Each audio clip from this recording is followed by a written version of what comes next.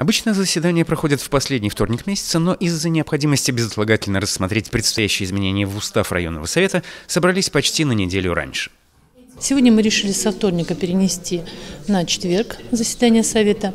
Во-первых, для того, чтобы соблюсти все нормы регламента по внесению изменений в проект вернее, по принятию решения о внесении изменений в устав Щелковского муниципального района, согласно изменению законодательства Московской области.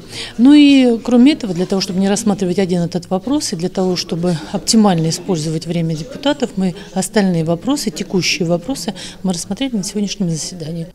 Изменения в устав коснутся выборов по истечении срока полномочий нынешнего депутатского состава, то есть в 2019 году.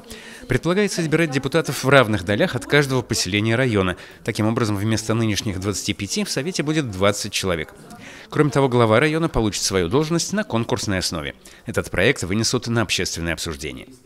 Другой важный вопрос – отчет об исполнении районного бюджета за первое полугодие. В целом, по доходной части план выполнен почти на 103%, в основном за счет налоговых поступлений.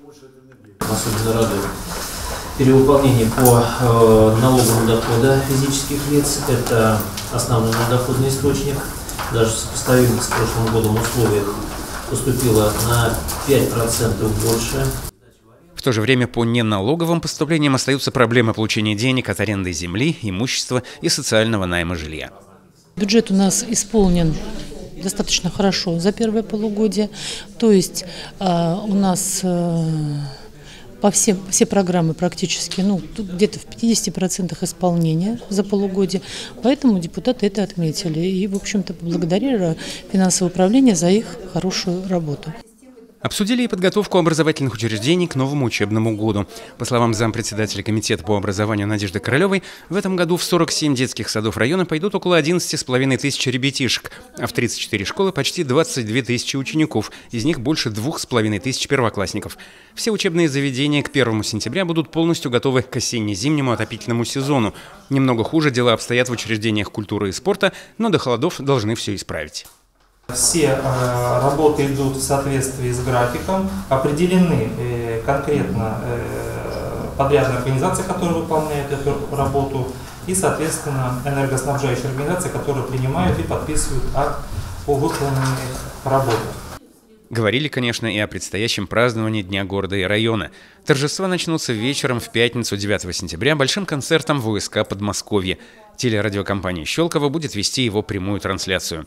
Основные мероприятия запланированы на субботу. Задействует несколько площадок. На площади Ленина, в Парке культуры и отдыха, в районном культурном комплексе, театральном центре, ДК имени Чкалова. Обещают, что щелковчанам хватит не только зрелищ, но и хлеба. В этот день, 10 сентября, для всех жителей состоится э, акция бесплатная по презентации э, брендовой продукции «Сибирская коллекция». Это будет бесплатная раздача пельменей с дегустацией, с проводительными различными продуктами и напитками. В течение дня мы постараемся угостить жителей тонной пельменей. А вечером в Парке культуры и микрорайонах Щелково 7 и Чкаловский состоится праздничный салют – Сергей Дадыко, Сергей Максимов, телерадиокомпания «Щелково».